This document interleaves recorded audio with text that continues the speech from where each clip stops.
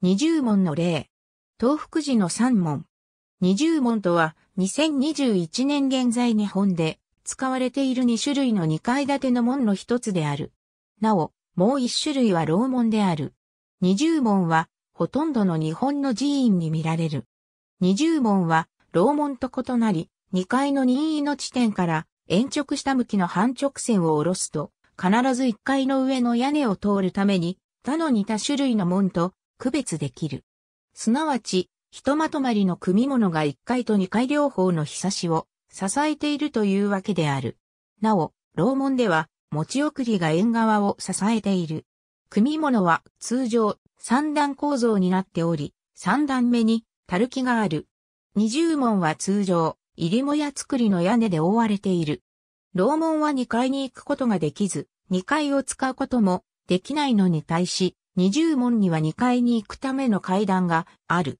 端に2軒、X1 軒の山楼2つがあり、そこに階段が収容されている二重門もある。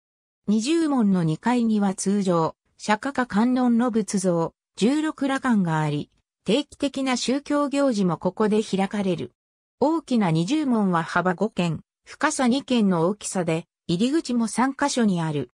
しかし、徳川家の菩提寺である、東京都の増上寺には5軒、X3 軒の門がある。より小さな二重門は3軒、X2 軒の大きさで、1から3カ所の入り口を持つ。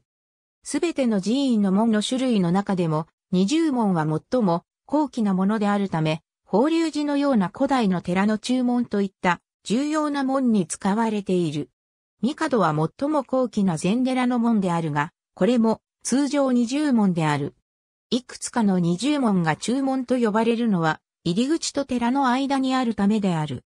帝という言葉は禅寺で生まれたものだが、他の宗派、特に浄土宗でもよく使われる。藤田小が2008、ピアニッシモ8485、ハット ABCDEF、20問。ジャパニーズアーキテクチャーアートネットユーザーシステム2010年6月22日閲覧 ABC 浜島製紙自社建築の鑑賞基礎知識主文堂1999年ピアニッシモ105-107岩波日本史辞典ありがとうございます。